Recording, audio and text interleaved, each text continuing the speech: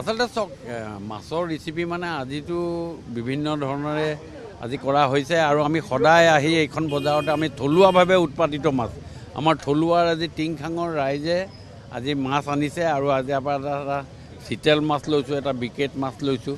এই যিটো থলুৱাৰে উৎপাদিত মাছ আৰু আপোনালোকৰ জৰিয়তে সমগ্ৰ ডিব্ৰুগড়বাসী দেশবাসীক ৰাইজক আমাৰ ভোগালী বিহু আৰু মকৰ সংক্ৰান্তিৰ উপলক্ষে মই মোৰ ফালৰ পৰা বিশেষভাৱে অভিনন্দন জনাইছোঁ যাতে আমি সকলোৱে ভাতৃত্ববোধ বহন কৰি আগন্তুক দিনত আমাৰ দেশখন ভাৰতৰ প্ৰধানমন্ত্ৰী নৰেন্দ্ৰ মোদী ডাঙৰীয়াই যেনে বিশ্ব দৰবাৰত প্ৰতিষ্ঠা কৰাৰ কাৰণে যি চেষ্টা কৰিছে আমি সকলোৱে আগবঢ়াই লৈ যোৱাৰ কাৰণে আমাৰ ফালৰ পৰা আমি চেষ্টা কৰিম। আৰু লগতে আগন্তুক যি বাইছ তাৰিখে আগন্তুক যি বাইছ তাৰিখে আমাৰ প্ৰাণ প্ৰতিষ্ঠা হ'ব প্ৰাণ প্ৰতিষ্ঠা হ'ব ৰাম মন্দিৰৰ।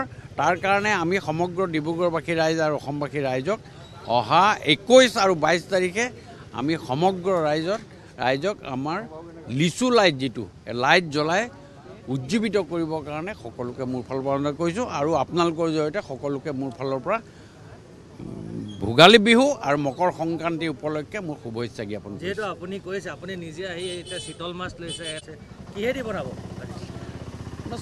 মাছৰ ব্যঞ্জনটো ঘৰত বনাই তথাপিও আমাৰ কৈছোঁ যে যেতিয়া?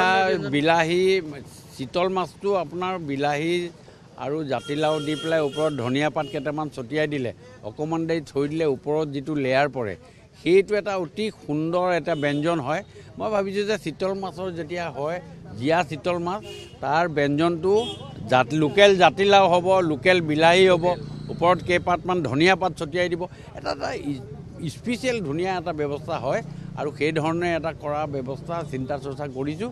আৰু আটাইতকৈ ডাঙৰ কথা হ'ল কি আপুনি কিমান খাব সেইটো ডাঙৰ কথা নহয়। আপুনি ওচৰৰ ৰাইজক মাতি আনি আপুনি কিমান খুৱাব সেইটোৱে আটাইতকৈ ডাঙৰ।